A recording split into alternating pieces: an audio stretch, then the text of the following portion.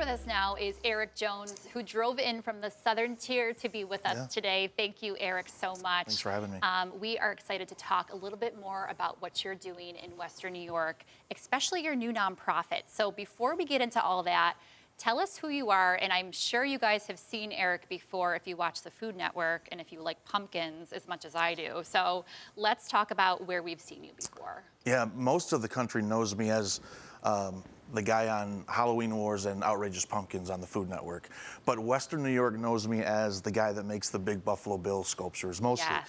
But uh, so I'm the current uh, champion of Outrageous Pumpkins, which is a Food Network show, uh, season three winner. Uh, I won that last fall, and I was also on season 10 of uh, Halloween Wars. More of that to come, um, but. My passion is sculpting. You know, I'm not carving pumpkins.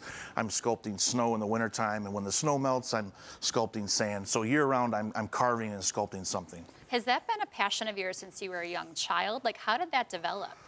I don't really think so. I mean, I, I, I loved Play-Doh and things when I was a kid, like everyone else. But I've been a two-dimensional artist my whole career as a professional artist, a caricature artist actually.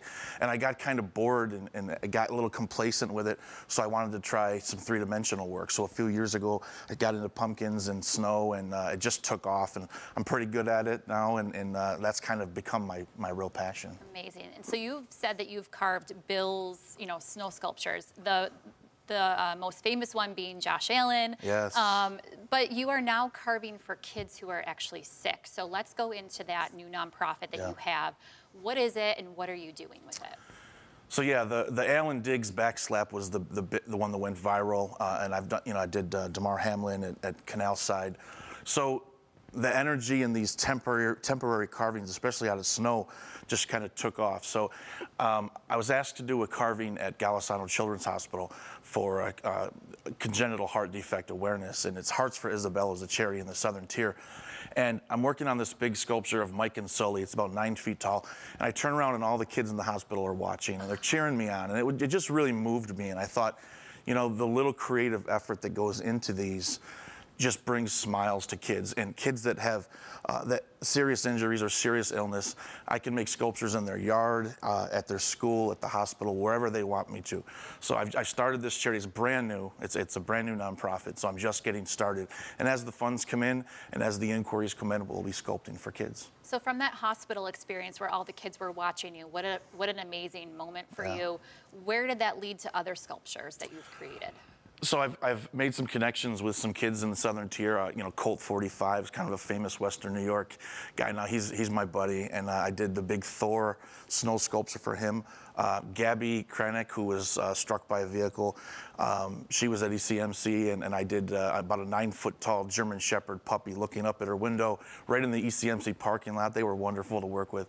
Uh, and it just it just goes and goes. There's there, there have been several of them, and of course Sophia the Fierce. You know, we did Yoda in her front yard, and um, it's just been amazing. Just seeing the smiles on these kids' faces. That's really what it's all about. Is there any sculpture you cannot create? Have you been challenged with? I mean, you've done Baby Yoda and the German Shepherd and Yeah. Sully and Mike from Monsters Inc. Yeah. Anything that really has challenged you? The most challenging is sand, and this is sand season because we don't have snow or pumpkins. So it's all about sand right now. Sand is very difficult to, to sculpt with. You're, you're limited on the shape. Uh, the weight has to be distributed in a pyramid shape. It's not like snow where you can just build grand and then you make whatever you want and paint it. Sand, you're kind of limited. And I've had many sand sculptures completely collapse on me and have to start all, all over. But that's part of the learning process. Yeah. So, so how does your nonprofit work? Can people sponsor these sculptures for these children that are sick? Yeah, it's brand new, so I'm taking all inquiries. So you can either sponsor a specific carve or you can donate. Uh, the, the website is sculptingforsmiles.com. You can also follow my social media, Eric Jones Studios, Instagram, Facebook, all of them. And you can see the links there. And you can donate directly to it. Or if you like, you can step in and uh, sponsor uh, a specific carve. So the next carve is for a young man named Wyatt and uh, I'm doing a, a Paw Patrol uh, sand sculpture for him, and uh, Western New York Orthodontics is, is actually funding that one. So I'm, I'm really hoping people can step in and fund each one. And I've got a list of people that need sculptures, so yeah, we need the funding.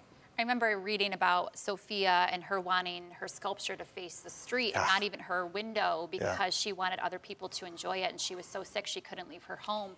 How does that make you feel as a sculptor to know that you're making such a big impact for kids that are so selfless? Yeah, that was so touching to me when I, I talked to Sophia and she said that. She said, face it toward the road so other people could enjoy it too. And that just moved me, you know, for her to be so so uh, um, selfless in that way. So yeah, I, just seeing the looks on their faces when they see these, and it's like it's not just a sculpture that they got to see. It was made specifically for them, and. Uh, you know, they say laughter is the best medicine, right? And laughter always starts with a smile. So that's kind of my tag. Thank Yeah. you so much, Eric, for being for here having me. today. To learn more about his um, uh, his um, nonprofit, head over to sculptingforsmiles.com and you can learn more about his remarkable nonprofit.